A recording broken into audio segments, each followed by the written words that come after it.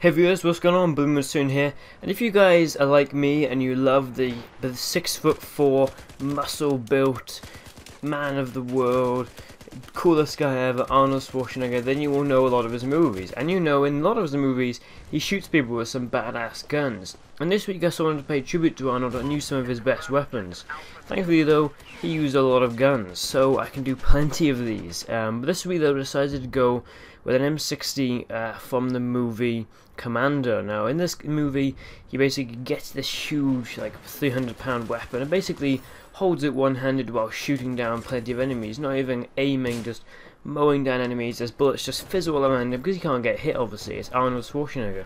And obviously, because he is so badass and so good at what he does, he doesn't need any attachments, obviously aside from the grip that's already built on. Unfortunately though in this game we don't have that certain version of the M16 that has the grip built on so I had to equip one but unfortunately again I didn't have a grip that I thought was suitable. The one that is probably closest is the folding grip but I didn't have one so unfortunately I went with a stubby grip which is what I did have um, but either way you can't actually see the grip on the gun so it's not really that much of a help and honestly I think in game it would give me a disadvantage. Now, the pistol I have is a 1911 with a 3 times scope. Now this the 3 times scope isn't exact. Um, honestly, one thing I should have done was equip a laser sight as well, but it's just something I didn't think of when playing. And if you haven't worked already, this gun is from the movie Terminator 1.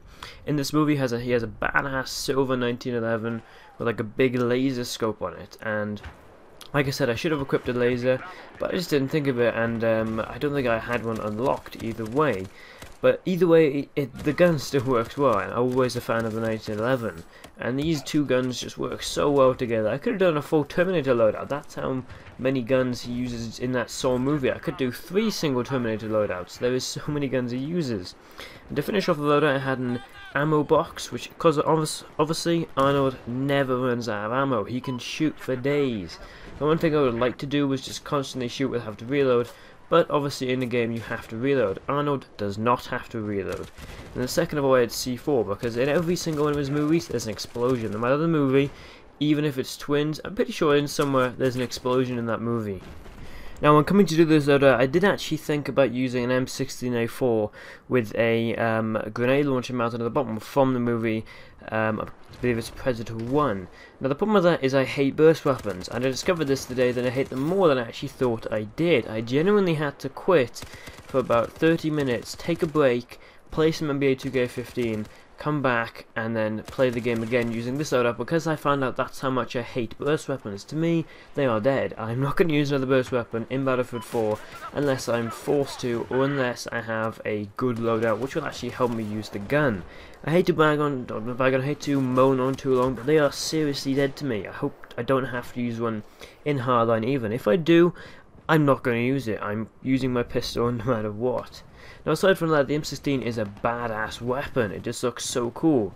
Even though I will admit, one thing with the M16 I liked was it looked much cooler.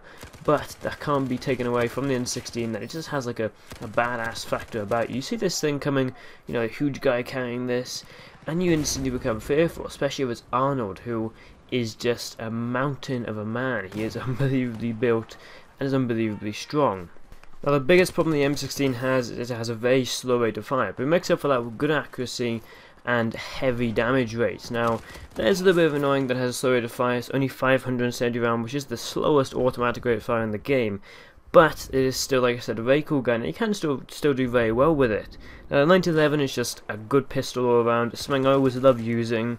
The C4 I didn't really use too much, uh, I'd never got a chance to, um, and overall I had a fire grenade as well, which is just because it's a standard fire grenade. Also had a Bowie knife, which he uses, I believe, in the Commando again. At the very last scene, he has at least a knife, and I thought the Bowie knife was the coolest one to pay tribute to Arnold. Now, this movie is, in fact all of all those movies, sorry, are amazing and I'm a big fan. I realize one thing, Arnold is a hacker. No matter what, he doesn't get shot, no matter what, he doesn't miss. So I feel like Arnold needs hacks, get off the game. Until then guys, thanks for watching this Blue Monsoon. Hopefully you guys enjoyed the video. Don't forget to like, share and subscribe. Blue Monsoon, out.